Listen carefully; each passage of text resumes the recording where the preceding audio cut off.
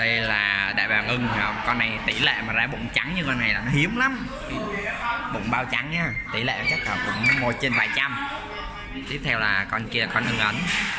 Đang à, mùa 2 chuẩn bị thay lông tỷ lệ cũng cao á. Ừ, tỷ lệ này nhỏ lắm nha. Có 230 gram thôi, ưng ấn, bao test luôn. Đây con mèo luôn. Mèo này lạ nhất thế giới luôn. Đưa thịt không bao giờ ăn luôn. Quảng cáo mỹ, đưa cục thịt vô. Đâu rồi? Hồi cho nó đánh nhau á, không được đâu, bỏ đi. Đúng đút cho con em một miếng trước. Rồi thấy không? Rồi con này. Thần thái, ổn bãi nôi rồi, chương trình chém gió hồi đến đây là kết thúc nha. À quên, con này là đại bàng núi nha. Đây là chương trình phổ cập dạy cơ bản fan curry đó, tí up lên up lên